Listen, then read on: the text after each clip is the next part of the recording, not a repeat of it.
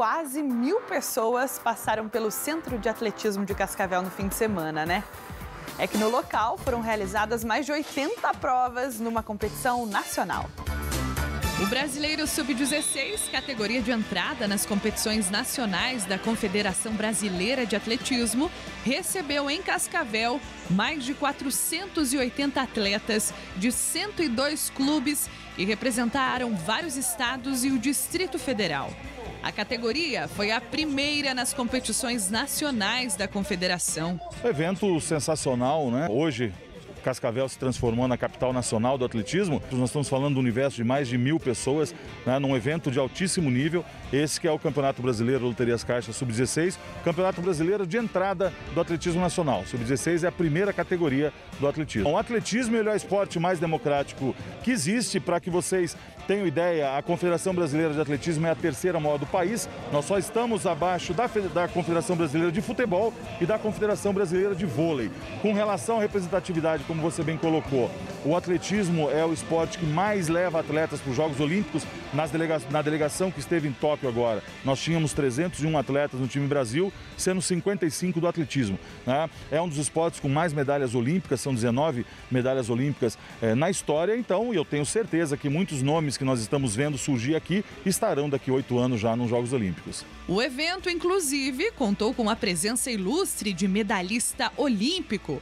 Edson Luciano Ribeiro atualmente é vice-presidente da Confederação Brasileira e carrega no currículo a conquista da prata nos Jogos Olímpicos de Sydney em 2000. Ser um medalhista olímpico foi é, algo fantástico, mudou a minha vida completamente. É, o início no esporte, eu não tive a oportunidade de iniciar aos 16 anos, 14 anos, como muitos desses garotos e garotas que estão aqui. Eu comecei já aos 19 anos e tive a oportunidade de participar de três Olimpíadas e ganhar duas medalhas. Então isso foi algo que mudou completamente a minha vida.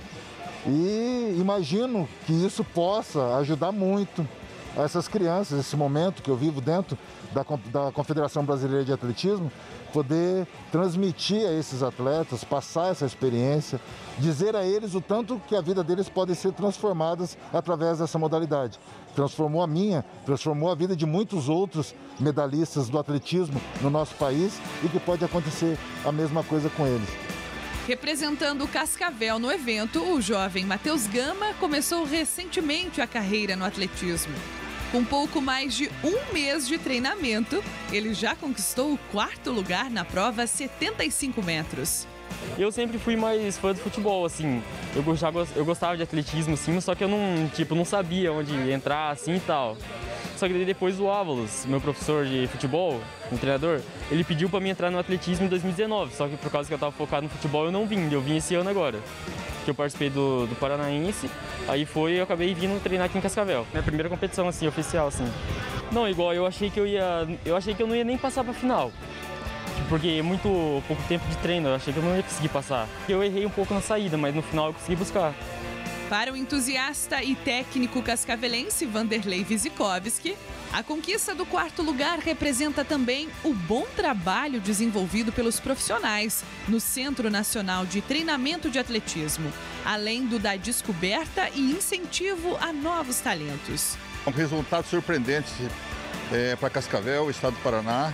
É, por ele estar representando nosso município, nós tivemos aí, descobrimos esse atleta há pouco tempo, faz um mês de treinamento. É, ele é um atleta aqui da nossa região de Iguatu e ele vem para Cascavel fazer os treinamentos diariamente, segunda a sexta-feira. E pouco tempo que ele treinou já mostrou um excelente resultado para o nosso município.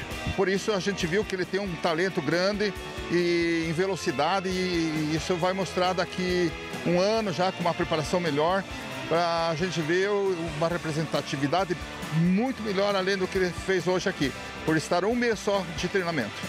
Agora a motivação é muito maior para ele, né?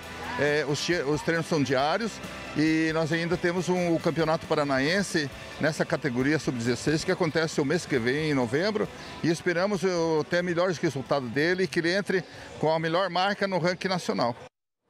Ainda mais calendário para o atletismo aqui em Cascavel, né?